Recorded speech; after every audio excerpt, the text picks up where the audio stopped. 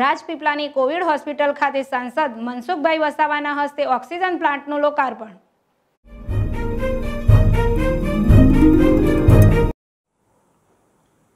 સંસદ વસાવાએ પ્લાન્ટની સ્વિચ ઓન કરીને ઓક્સિજન ઉત્પાદન માટે આ પ્લાન્ટ ખુલ્લો મૂક્યો હતો.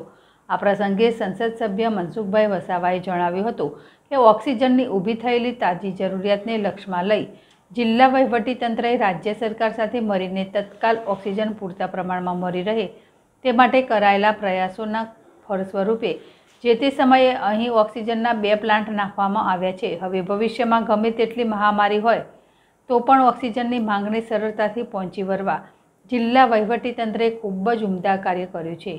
ડીઆરડીઓ ભારત સરકાર તરફથી એક નવા પ્લાન્ટની આજે સ્થાપના થઈ છે. ઓક્સિજન અને વેન્ટિલેટર સાથે છ જેટલા દર્દીઓને એકસાથે પહોંચી વળે તેવી ક્ષમતાવાળો આ ઓક્સિજન પ્લાન્ટ છે.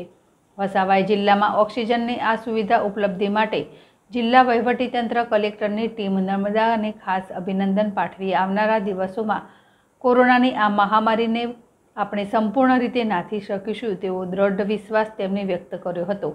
જિલ્લા કલેક્ટર ડીએ સાહેબ માધ્યમો સાથેના સંવાદમાં જણાવ્યું હતું કે સૌથી પહેલાં ઓક્સિજન લાઇન ઇન્સ્ટોલ કરી અને ત્યારબાદ ઓક્સિજન સિલિન્ડર આપણે લઈ શક્યા છીએ.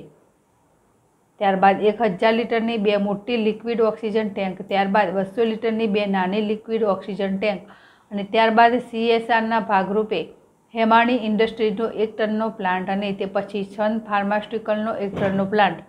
સીએસઆરના ભાગરૂપે તથા આજે સંસદ સભ્યએ જે રીતે આ ઓક્સિજન પ્લાન્ટનું લોકાર્પણ કર્યું છે તે મુજબ ભારત સરકારના પીએમ કેર ફંડમાંથી એક ઓક્સિજન પ્લાન્ટ આપણને મંજૂર થયો હતો, જેમાં ડીઆરડીઓ એ ઓક્સિજન પ્લાન્ટનું કામ કર્યું અને તેનું civil work, electrical work, national highway authority દ્વારા થયું છે.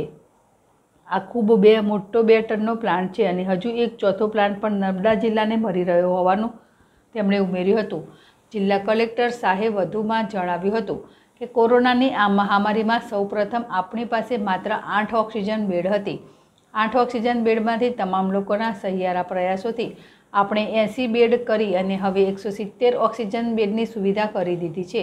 અને તમામ એકસો સિત્તેર બેડ પર સતત ઓક્સિજનનો પુરવઠો મળતો રહે તેવી સઘરી વ્યવસ્થા આપણે કરી છે.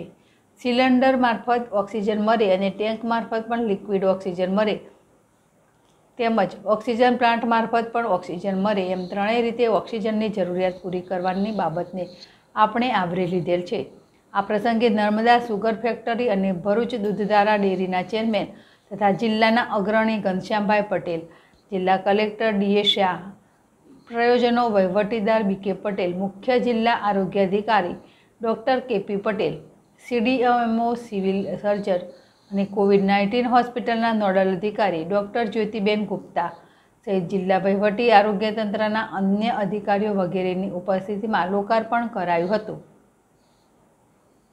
દીપક જગતાપ જડેશ ટીવી રાજપીપળા. સમગ્ર દેશ અને ગુજરાતની સાથે નર્મદા જિલ્લામાં પણ કોરોના મહામારીએ ખૂબ ઝેર મચાવી હતી. પરંતુ આ કોરોના મહામારીને રોકવા માટે રાજ્ય સરકારના સહયોગથી નર્મદા જિલ્લામાં પણ ખૂબ મોટું કાર્ય થયું છે. માનનીય કલેક્ટર સાહેબના નેતૃત્વમાં સતત એની મિટિંગો મળતી હતી. અને કોરોનાને રોકવા માટે જે પણ શક્ય તેટલા બધા જ ઉપાયો થયા છે. એમાં ખાસ કરીને કોરોનાના દર્દીને જલ્દી સાજો થાય એના માટે ઓક્સિજનની ખૂબ જરૂરિયાત ઊભી થઈ હતી. તો ઓક્સિજન નર્મદા જિલ્લામાં રાજપીપલા ખાતે ખૂબ નહિવત પ્રમાણમાં હતો. પરંતુ જિલ્લા વહીવટી તંત્રએ રાજ્ય સરકાર સાથે મળીને તત્કાલ ઓક્સિજન પૂરતા પ્રમાણમાં મળી રહે એના માટે પ્રયાસો કર્યા.